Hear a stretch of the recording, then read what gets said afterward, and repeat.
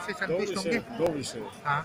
तो तीनों कानूनों को वापस लिया जाए और एमएसपी को कानूनी जमा बनाए उसी पे चर्चा होगी और उसी चर्चा करने अंदर जा रहे हैं। उम्मीद करते हैं सरकार समझ गई होगी कि ये जो मांग है ये किसानों की न्यायोचित मांग है और इनसे किसान हटने वाला नहीं है। इस समय हटकर्मी पे ज़्यादा ज़ोर दिया जा रहा है तो उस पर आप हट गर्मी क्या संतुष्ट होंगे? हठधर्मिता तो जो नहीं देना चाहते उनको लग रही है। हाँ।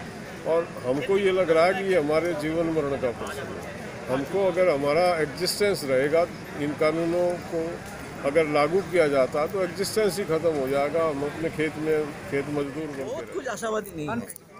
नहीं बहुत आशावादी नहीं है। देखता है जाके।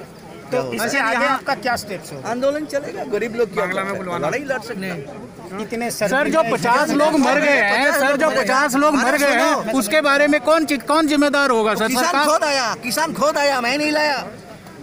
तो वो जो मर गए उनका सिर्फ़ जिम्मेदार कौन होगा? ये पूछा जा रहा है। सरकार होगा उसको एफ़ आई आर करेंगे उसके वजह से लोग मर रहे हैं। अच्छा क्या 26 तारीख के लिए आपको मिल गया है? गो हेड दिल्ली पुलिस से दिल्ली कूच करने के लिए। देखते हैं हम मुल्ला जी। किसी तो आज तक किसी का हमारा परमिशन नहीं मिला। आज तक कोई मिला?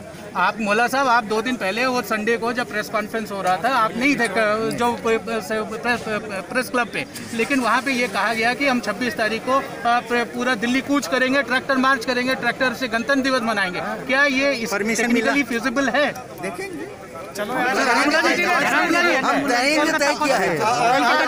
आज कितनी होगा आपको? आज कितनी होगा? सरकार अंदर सरकार के अंदर एक प्रतिशत मानविकता है मानविकता एक परसेंट। इंसानियत है तो ये समस्या हल करने की कोशिश कर। सरकार कह रही फिफ्टी परसेंट तो हो गया सरकार झूठ है फाइव परसेंट हुआ वो पेरीफेरियल है वो हमारा मांग नहीं था मैन वो लड़ाई के पैदल चलते चलते वो सवाल उठा था वो मांग नहीं है। वो पचानबे परसेंट नहीं हुआ पाँच परसेंट है। वो दो के मतलब फिफ्टी परसेंट नहीं है। वो दो पर पाँच परसेंट है वो दो पेरीफेरियल है। मुख्य जो माते है बातें हैं उसमें कोई अभी तक फैसला नहीं हुआ। यहाँ आज अगर ये जो है हटकर्मिता सरकार न छोड़े तो आप क्या करेंगे?